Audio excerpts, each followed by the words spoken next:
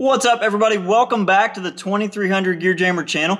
We're going to do something a little bit different today and uh, I want to tell the story of where this car came from. I want to talk about the saddest day at the track ever and the slowest passes you could possibly imagine. It still ended up being fun and where we want this car to go. We got to lay out some goals. I don't typically talk about track goals. There's two kinds of people that we've seen a lot in this world, and it's people that talk about going to the track and, and talk about their goals, and there's people that go to the track and hit their goals. So I tend to not say anything of what I plan to run, but because we're doing this as a video series, what I'm trying to do is at least explain my thought process through this so you understand why I'm going to try to get from A to B.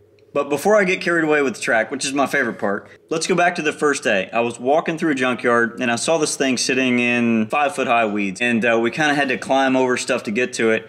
And the owner of the junkyard saw me looking at it. He had already fired up the loader. He was ready to, to sell it to me before I even got back to ask about it. And hopefully you've watched the videos up to this point so you've seen the outside of this car.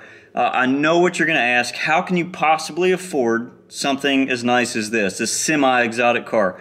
And honestly, I, I, was friends with the guy that owned the junkyard, and he, wanted $200 for this thing. So it's been 16 years. I've only got two payments left, and I, we're almost there. I don't even get calls about the extended warranty anymore. We're getting there. So I went home, and uh, I got a truck and trailer, and when I came back, we loaded this thing on the trailer with a forklift. We didn't hear it run, nothing. All we knew about it is it had four flat tires. And uh, a, a buddy of mine that was there, he said, hey, I'll bet you 50 bucks you won't run it at the track tonight. We only had like three hours. So we went and aired up the tires, we put a battery in it, and the thing actually ran. The longer it ran, the better it got. So run some of that old gas out. It was ready to make some smoking fast track passes. And before I get to the video, I need to stress, if you're messing with four cylinder Fords and you're not prepared to make an extremely slow pass and it still be fun, this is the wrong place for you. This is the slowest track pass I have ever made in anything ever. And it was full throttle. It ran clean all the way to the end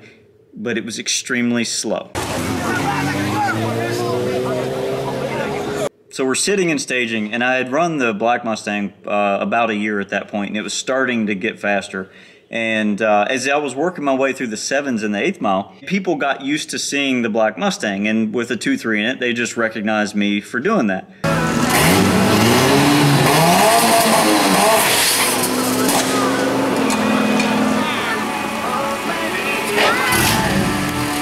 I show up at this thing and didn't tell anybody I was going because I mean I just bought the thing a few hours before that and pulled out on the track. Mentally, I drove it just like I would anything else.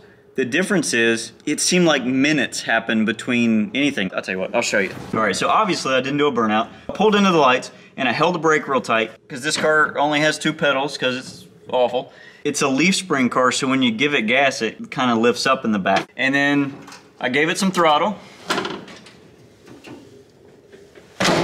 After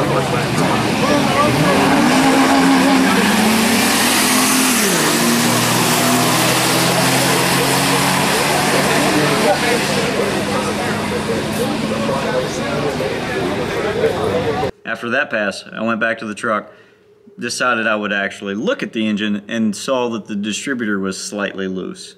No problem, set it by feel, let it rip. On the second pass, I was confident. Calm, collect, we were ready to rock and roll.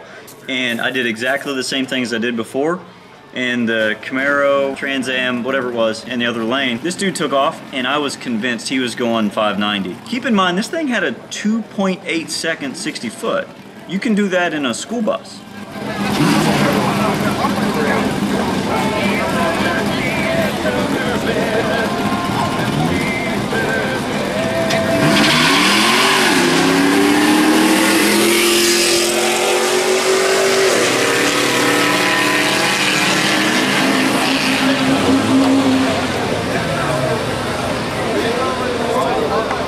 This guy's going down the track, and I was convinced he was going to run 590, easy 590, and it shows his time, and it was 830s, I think. 830 in the 8th. Whew. And I was amazed that my best pass of the night ended up being a 1358 at 53 miles an hour. Think about how slow that is, and you can run that in anything. It was probably the cheapest pass I've ever made A buddy gave me $50 just because we thought it would be funny. Right now, 1350 in the eighth mile is the number to beat. So I feel like tuned up with a T5, Trevor should be able to do that. We should be in pretty good shape. Now, for me, my goals are different. I've been doing this for a long time. I've made quite a few track passes. So Trevor, we're going to start him and see if he can outrun the 1350, and I hope he can and then move up from there and up from there. We will get him to making some decent track passes. Again, for me, I really hate talking about goals, but here we go. So, I mean, I put a 10 point cage in it that's good to 850. Uh, it's a short wheelbase car. I don't really plan to try to run that kind of number with it. I want to keep it fairly simple with whatever we've got a good goal that I thought would be worth chasing is nines in the quarter mile with a completely stock junkyard unopened four cylinder T5. Now, a lot of people say they won't hold more than 235 foot pounds or whatever's on their chart that they're looking at that day, but that's wrong. If you have the right clutch and you can drive it and you can get everything adjusted right and you can go in steps, you can go fairly fast. That being said, I went 10 years and never broke a T5 and then broke three in three weeks, figured out what the problem was, and that was 11 years ago. I haven't broken one since. So, but this is a pretty lofty goal. So I've piled up every T5 I can come up with. Uh, I've got buddies saving them for me.